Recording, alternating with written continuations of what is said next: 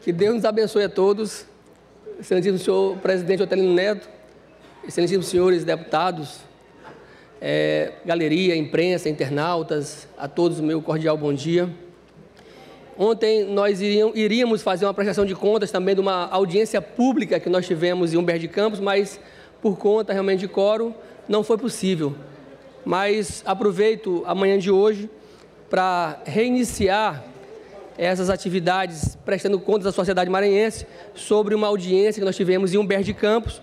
Na ocasião, participando vários órgãos, junto com a Assembleia Legislativa, que estávamos lá representando naquele ato, por conta realmente da, da Frente Parlamentar de Aquicultura e Pesca, e na valorização de fato né, de algo que é muito importante para o Maranhão, que a possibilidade de nós implementarmos a política da carcinicultura, da criação do camarão. Por que, que eu estou aqui fazendo essa prestação de contas? Porque é fundamental que a sociedade possa entender e compreender que, assim como esse parlamento já compreende, que nós estamos numa tarefa de aumentar a produtividade do Estado do Maranhão. E essa, é, é, este aumento de produtividade, ele se dá também por conta de uma atividade que é pouco explorada no Estado, que é a criação de camarão, que nós chamamos aqui de carcinicultura. Em Humberto de Campos, naquele momento, na sexta-feira, nós tivemos essa reunião, que foi no dia 2, né, no Sindicato dos Trabalhadores Rurais do município, e lá estavam presentes representantes do Sindicato de Trabalhadores Rurais, representantes de sindicato de pescadores, colônia de pescadores, cooperativa de carcinicultores e criadores de, de, camarão, a Copiacan, na pessoa do senhor Francisco Chagas Ramos, conhecido como Chico da Pesca. E naquele momento, junto conosco também a CEPAC, Secretaria de Estado da Pesca, representada pelo engenheiro de pesca é, Pereira, que ali fez uma explanação da importância da carcinicultura, inclusive das atividades que em 2004, senhor presidente, já tinha sido exercida pelos é, produtores locais Humberto de Campos já foi referência para o Maranhão em cassinicultura, mas infelizmente as fazendas foram desativadas por conta, principalmente também, do processo de licenciamento ambiental.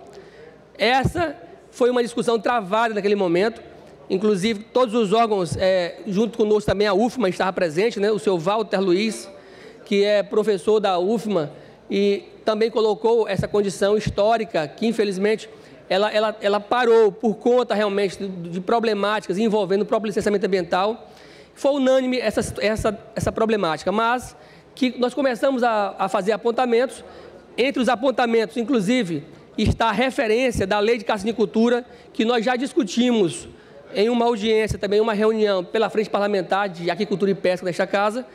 Essa proposta já foi feita uma indicação, já foi encaminhada à SEMA, e a SEMA vai analisar e nós vamos dar um prazo para que, possa ser analisado ou se colocar um adendos né, é, pertinentes à condição do próprio licenciamento ambiental ou não, né? Ou não, ou não havendo objeções por parte da SEMA, nós vamos apresentar esta essa proposta de lei que vai ser o início realmente da regulamentação.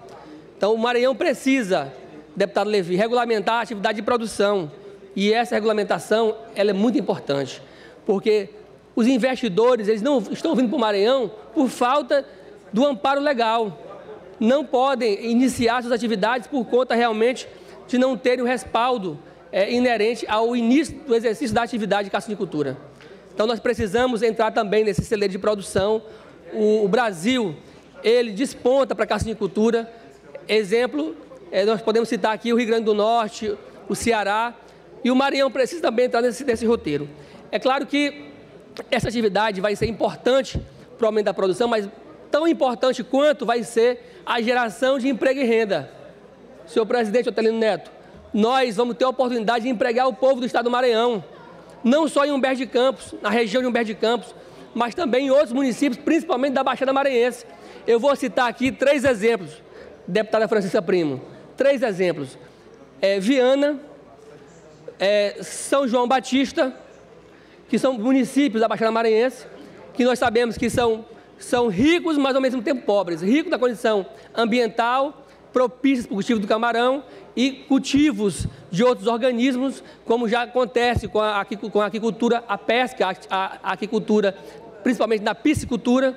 Então, mas que infelizmente ainda é, estão padecendo de falta de oportunidades.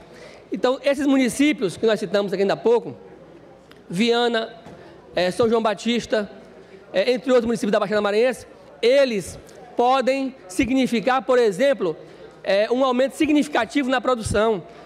Isso já foi identificado no próprio relatório feito pela ABCC, que é a Associação Brasileira dos Criadores de Camarão.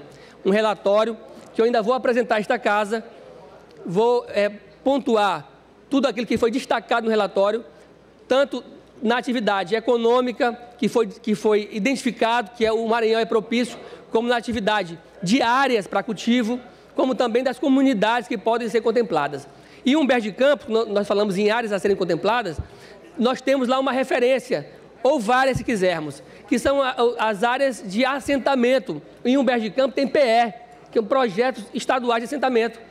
Então, nós conseguimos identificar naquela, naquela audiência pública, naquela reunião, pescadores, trabalhadores rurais, que destacaram que antes, além de desenvolver suas atividades de, eh, de lavoura, eles tinham também um trabalho ligado às fazendas de, de criação de camarão.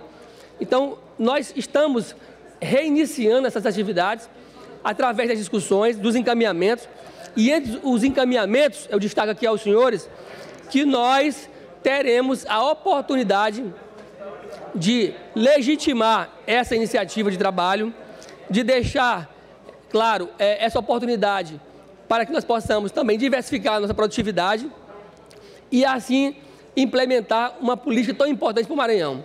É claro que nós temos que reunir elos desse processo. É uma cadeia produtiva. Nós estamos pensando tanto na questão das terras para exercer atividade, e essas terras, boa parte delas, ou são áreas de assentamento, ou áreas da União, ou também tem, tem propriedades particulares, mas que o nosso interesse é a utilidade pública da condição da caçanicultura. Por isso que nós estamos puxando, e na, na discussão nós encaminhamos pela análise realmente das áreas de assentamento. Então nós vamos ter uma audiência é, com o secretário é, do ITERMA, justamente para discutir essa questão das áreas de Humberto de Campos, das áreas de assentamento, como também como outro encaminhamento, que é muito importante, os bancos oficiais participarem do processo. Porque nós vamos ter o espaço para a produção, nós temos a mão de obra necessária e faça um registro. Na audiência participaram é, agricultores familiares, pescadores, marisqueiras, catadores de caranguejo, participaram da, da, da reunião. Isso demonstra que nós, nós vamos ter também, em Humberto de Campos, a oportunidade de envolver todos esses, trabalhadores. E essa iniciativa, ela só vai ser possível também se nós buscarmos os financiamentos, tanto para a condição, senhor presidente, para concluir, tanto para a condição é, do microcrédito, que nós podemos é, abstrair aqui do, do, das linhas do PRONAF, aí vamos ter que buscar as linhas do PRONAF para realmente implementar essas políticas, como também tam, para os grandes empreendimentos, porque lá, inclusive, já tem projetos para grandes empreendimentos, mas para isso é preciso a regulamentação, é o que nós estamos buscando, e, e estabelecendo como, como meta até 40 dias para que nós possamos estar protocolando esse projeto de lei e depois é, que, se, que, que ele seja aprovado, poder desenvolver as parcerias necessárias, chamar os bancos para esta casa, junto com os produtores, chamar os investidores e dizer que o Maranhão tem uma grande opção para investimentos, que é a caça de cultura. Muito obrigado a todos, que Deus nos abençoe. Nada mais